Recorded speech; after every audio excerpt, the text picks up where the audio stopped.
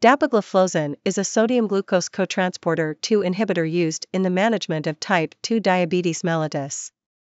In this video, let's find found. What is dapagliflozin? What is dapagliflozin used for? Contraindication. What are the side effects of taking dapagliflozin? How does dapagliflozin work? How to use dapagliflozin? What is dapagliflozin? Dapagliflozin, sold under the brand names Farxiga and Forxiga among others, is a medication used to treat type 2 diabetes. It is also used to treat adults with heart failure and chronic kidney disease. Common side effects include hypoglycemia, urinary tract infections, genital infections, and volume depletion. It was developed by Bristol Myers Squibb in partnership with AstraZeneca. It is on the World Health Organization's list of essential medicines. In 2020, it was the 217th most commonly prescribed medication in the United States, with more than 2 million prescriptions. What is dapagliflozin used for? Dapagliflozin is indicated as an adjunct treatment to improve glycemic control in adult patients with type 2 diabetes mellitus along with diet and exercise. Dapagliflozin is also indicated to either reduce the risk of cardiovascular death, hospitalization for heart failure, and urgent heart failure visit in adults with heart failure or reduce the risk of hospitalization for heart failure in adults with type 2 diabetes mellitus and either established cardiovascular disease or multiple cardiovascular risk factors. Contraindication Dapagliflozin is contraindicated in patients who History of serious hypersensitivity reaction to Farxiga.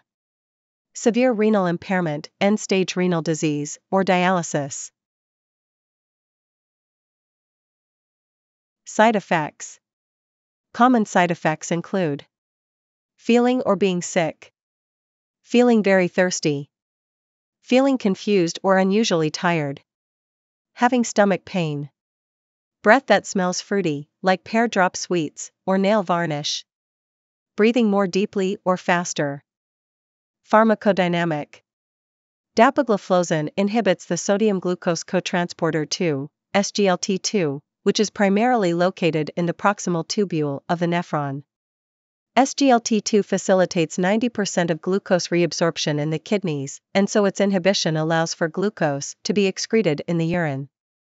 This excretion allows for better glycemic control and potentially weight loss in patients with type 2 diabetes mellitus.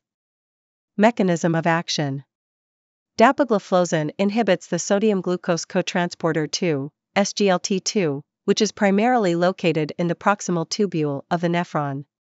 SGLT2 facilitates 90% of glucose reabsorption in the kidneys, and so its inhibition allows for glucose to be excreted in the urine. This excretion allows for better glycemic control and potentially weight loss in patients with type 2 diabetes mellitus. Half-life After a single oral dose of 10 mg of dapagliflozin, the mean plasma terminal half-life is approximately 12.9 hours.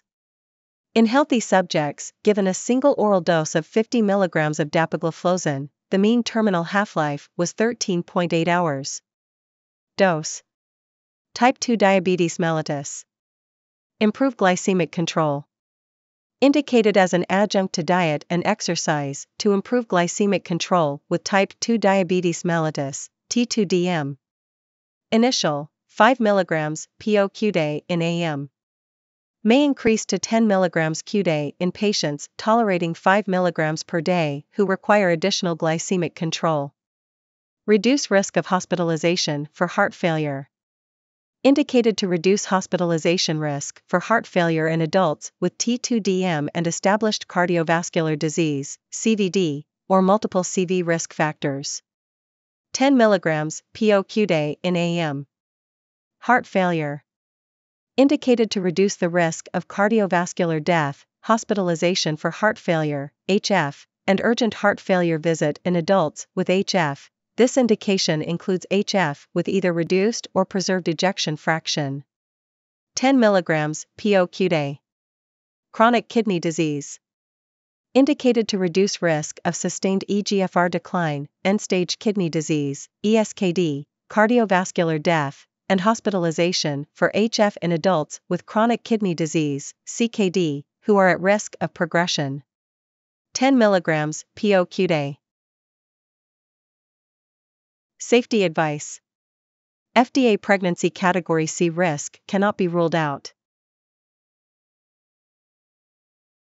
That's all the information about dapagliflozin we collected. Thanks for listening. Do not forget to like, share, and subscribe for the HeInfo channel if you like this video to update more health information.